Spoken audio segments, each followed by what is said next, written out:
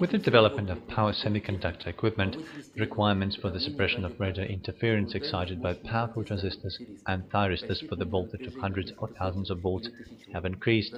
The problem is solved by the use in the damping circuits of these devices of film capacitors with low resistance of armature and outputs designed for high values of pulse current. To suppress EMI, the so-called X and Y capacitors are used. Capacitors which are connected between the phases are used to suppress symmetrical interference, common mode. They are used in applications where failure of the capacitor will not lead to a dangerous electric shock.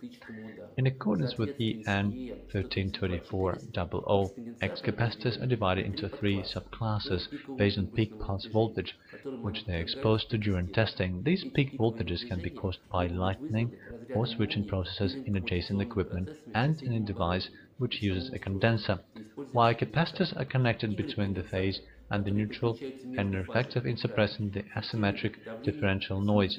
They are used where the failure of the capacitor can cause electrical shock, Y capacitors have a limited capacity with an increased electrical and mechanical reliability.